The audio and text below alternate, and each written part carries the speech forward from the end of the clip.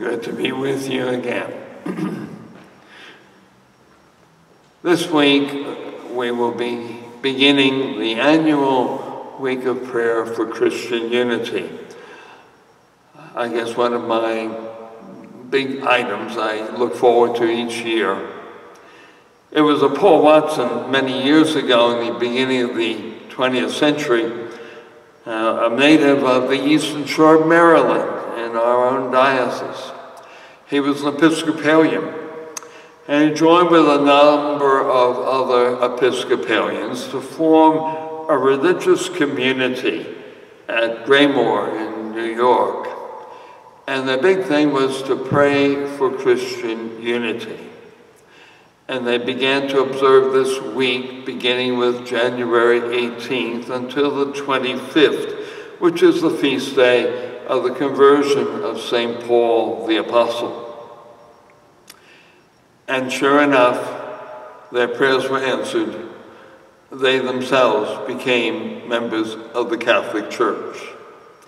And so that devotion of prayer for Christian unity has spread throughout the world, and many Christians will enter into that prayer. I think at times, you know, we get used to certain things in life all our lives we've seen churches, Baptist, Methodist, Presbyterian, Orthodox, Catholic, and we just assume, well, that's the way it always is. And I'm sure many, many non-Catholics think that's the way it always is. But no, that isn't the way it is or should be. And we know especially Jesus at the Last Supper, praying for all of us. And especially in the 17th chapter of St. John's Gospel, we hear Jesus praying for all of us through the centuries who would come to believe in him. And above all else, he prayed that we would be one, united, one in faith and love. When people are about to die, they don't talk about trivial things. They talk about what was most important to them.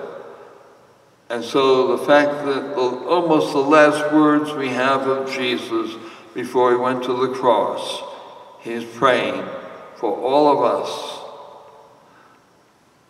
That always impressed me, I guess, to think that Jesus Christ, before he suffered and died on a cross and rose, was praying for you and me, for all of us. He could see all of us coming through the centuries who would believe in him and praying above all else that we would be united.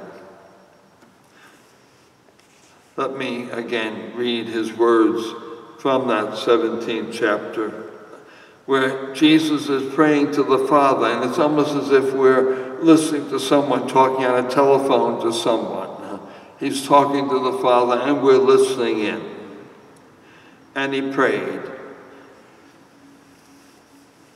Lifting up his eyes to heaven, Jesus prayed, saying, Holy Father, I pray not only for them, but for all those who will believe in me through their word, through the apostles' word so that they may all be one, as you, Father, are in me and I in you, that they also may be one in us, that the world may believe that you sent me.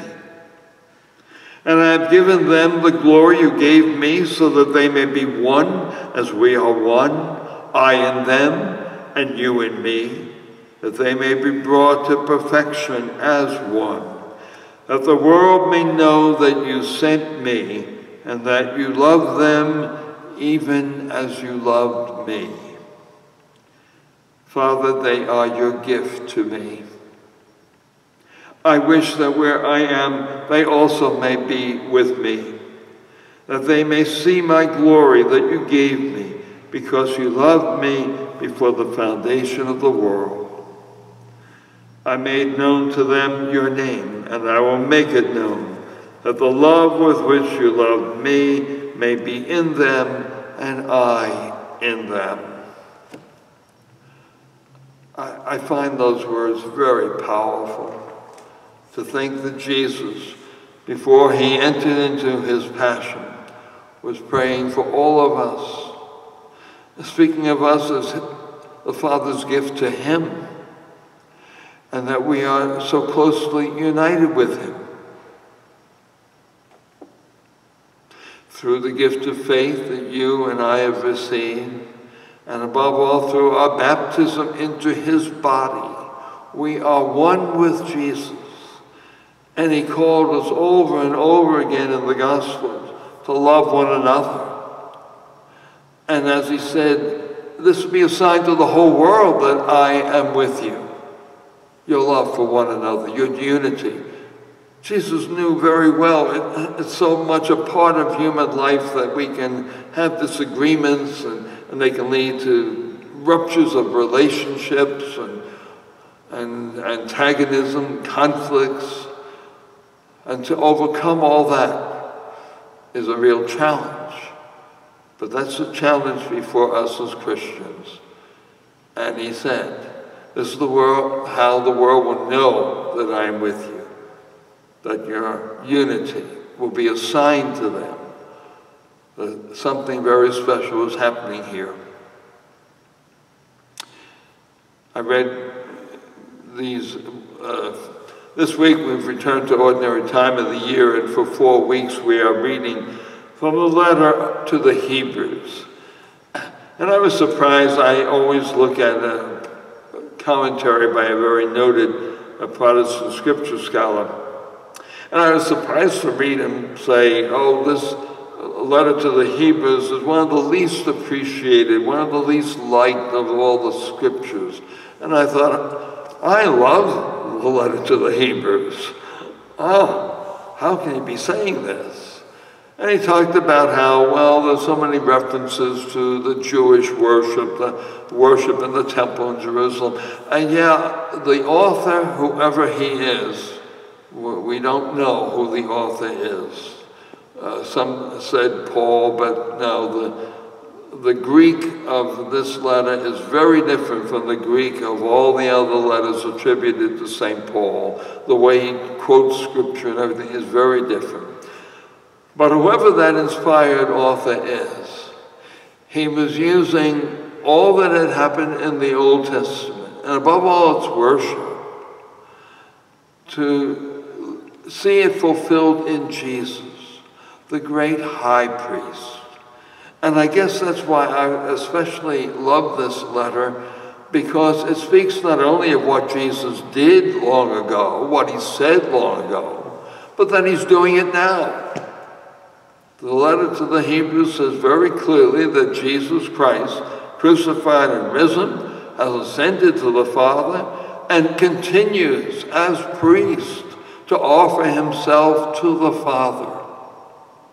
And so all of us, joined to him through faith and baptism. We're all one body with him. We're all, as St. Peter says, a priestly people. You don't just watch a priest at the altar offering, you all are offering, and you're offering yourselves.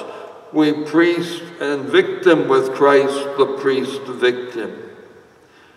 And I think that's why I guess I've always appreciated this letter to the Hebrews because it's saying that time and space don't matter with God. Jesus entered into that eternal mystery of the Father, and all through the centuries of human history, he is acting, he is offering himself in the great sacrifice of the cross. And all of us are joined, especially when we celebrate the mystery that is the heart of our Catholic faith, the Mass. We are very conscious that Jesus, our great high priest, is still acting through his priestly people and through those who have been ordained to a certain likeness to Christ to act and speak in his name. We're so very aware of that. Jesus in the Eucharist our great high priest, leading us week by week, day by day to the Father. And yes, above all, he prays that we will be united. I hope you join, whether at home or coming to church to join in the prayers at the Eucharist, that you realize unity is something that is a burning issue for us Christians. We cannot be satisfied with the divisions. We have to be really convinced this has to end. The disciples of Christ need to be one once more, one in doctrine, one in unity with the one shepherd who is Christ the Lord. God bless you and your family and loved ones.